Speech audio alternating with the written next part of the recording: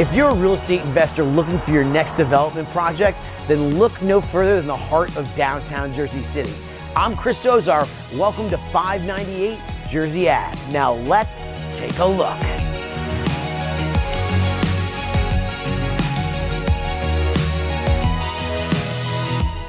So behind me is this beautiful historic building. It's 15,700 square feet, which you can break up into studios, one beds, two beds, three bedrooms, you know, whatever you want. But really, what's the most important thing is I want to show you what the lifestyle and why Jersey City downtown is so awesome. So let's go take a look now.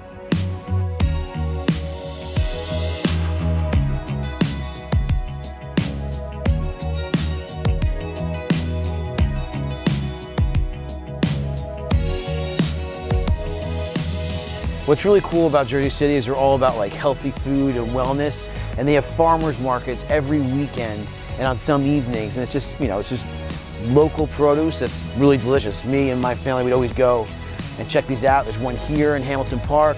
There's also one in Grove Street happening constantly. So like literally, there's always something going on.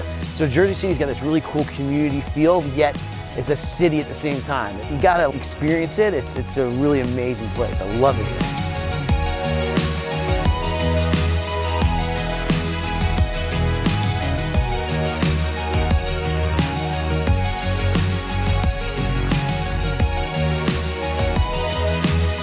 We're walking down Newark Street, which at nighttime, this place is just bustling. We have the Ashford behind me, which they have a rooftop deck.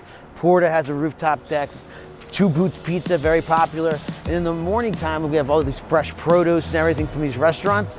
One of the best locations to be in Jersey City, period. And then the path is just right behind us. So you can't really beat this living anywhere else.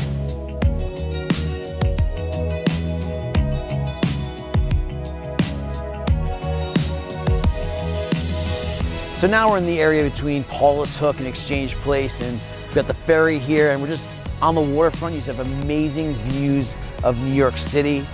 Just walking up and down, riding your bike around here, it's just one of the best places to be. And if you do need to go to New York, you can be there in five minutes.